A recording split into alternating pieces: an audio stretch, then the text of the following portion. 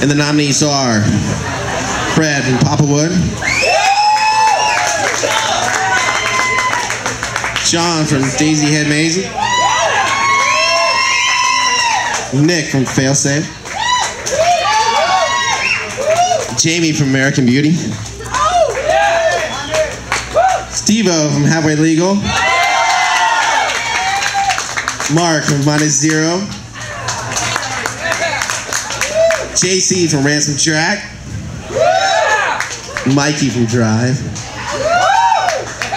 and Leo from Murder on the Dance Floor. And the winner is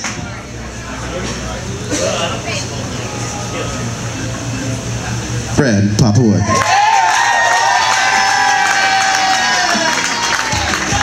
Tear it up!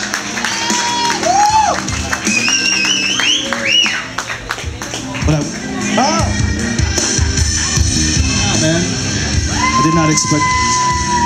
I'm not good at speeches, so thank you, everybody. Really. Chris, here's your mic.